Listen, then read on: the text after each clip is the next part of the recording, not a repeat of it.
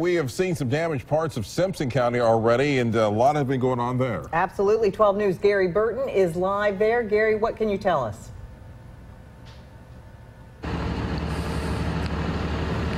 The Southern Pine has just arrived, and as you can see behind me, they have arrived with a brand new pole uh, to repair the power line that has dropped. I'm going to give you a quick zoom in so you can see what this pole will be for. It'll be for this one right here because the top has fell off, and I want to show you the top of it as well, and that is the damage that is right here.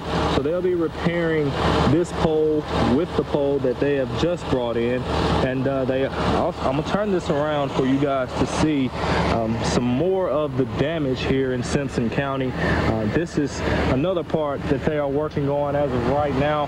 And uh, the man, he tells me that this is something that could possibly take two hours, but they said two hours can turn into six hours. You never really can estimate these type of things. It depends on the problem. So they want everyone here in Simpson County, they say that it could be about 400 homes that are affected without power as of now. They say they just want everyone to be patient with them because they're working as fast as they can.